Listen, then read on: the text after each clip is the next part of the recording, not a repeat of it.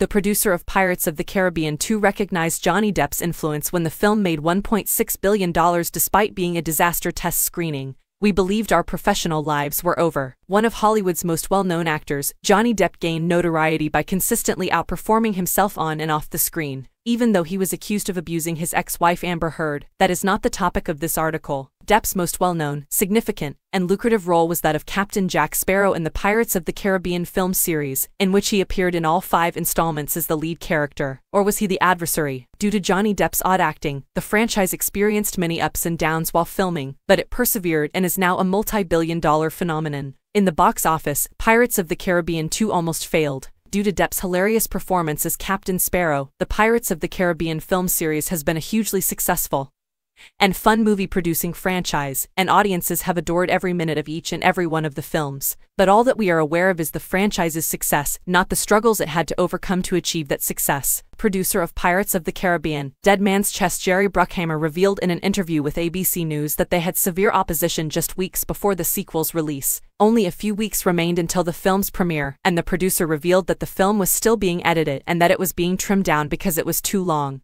He also said that the film was a bit complicated for young viewers, said Bruckheimer. We had a movie that was close to 2 hours and 35 minutes, so we had to cut it down to a time when we felt the story worked, and I believe the movie is 2 hours and 7 minutes, plus credits. The kids thought it was a disaster. We prepared to cut off our wrists. We removed the alcohol, I'll tell you, we believed our professional lives were over. Although the film initially had several significant issues, it was successfully edited to a suitable length, earned many favorable reviews after being stitched up at the production house, and enjoyed a good run at the box office. The box office performance of Pirates of the Caribbean, Dead Man's Chest was extremely positive. The Gore Verbinski helmed Pirates of the Caribbean, Dead Man's Chest, led by Johnny Depp's Captain Jack Sparrow, was a resounding hit, grossing more than $1 billion worldwide on a $225 million budget. Out of the five films that have been released so far, it was the second to be released back in 2006. Also, there are reports circulating that the sixth film's script has been under development, and an official announcement is anticipated before the end of this year. The franchise has so far produced five films, and despite having an estimated $1.25 billion